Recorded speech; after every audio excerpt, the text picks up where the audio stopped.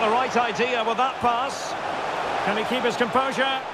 And a goal right off the bat. No wonder they're jumping for joy.